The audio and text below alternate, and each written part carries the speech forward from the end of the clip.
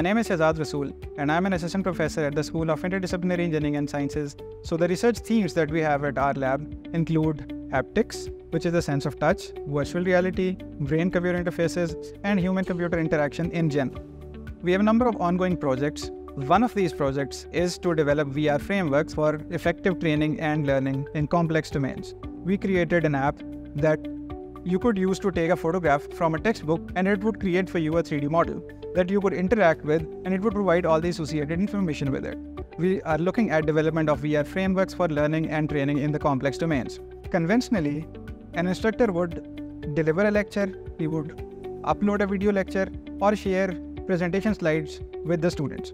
Now imagine that the instructor could create 3D virtual content for VR and disseminate to students. And the students can then at their end access that content and interact with it in the virtual environment as if they are inside those chemical models. And you don't need very complex and sophisticated equipment for that. What you could do is a simple smartphone in a cardboard style head mounted display and you are good to go.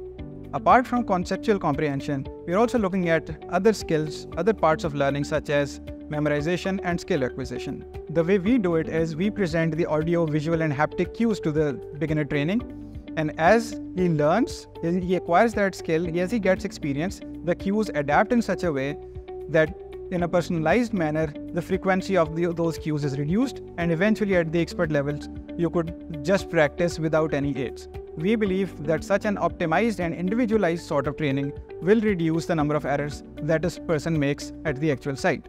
Thank you